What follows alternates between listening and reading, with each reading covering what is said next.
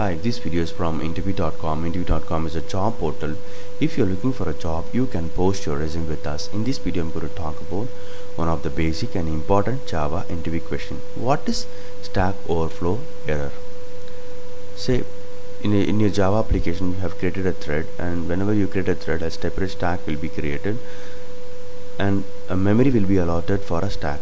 And if your memory allotted for the stack it's getting uh, exhausted. It is it has gone. You have, you, have used all the memory that is allotted for a stack then you will be getting a stack overflow error.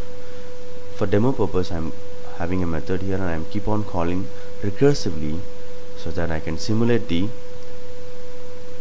stack overflow error.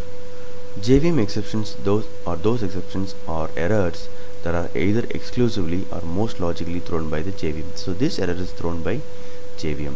Stack overflow error, null pointer exception are thrown by JVM. Programmatic exceptions are those exceptions that are thrown explicitly by the application or by the programmer. So stack overflow if you see it is extending from the Java lang virtual machine error. So I'm going to execute this method.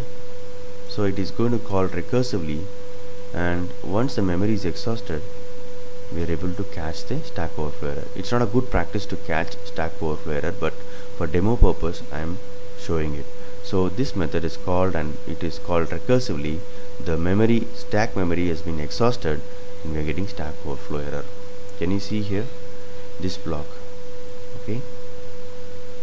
Hope this video is useful. Thank you and all the best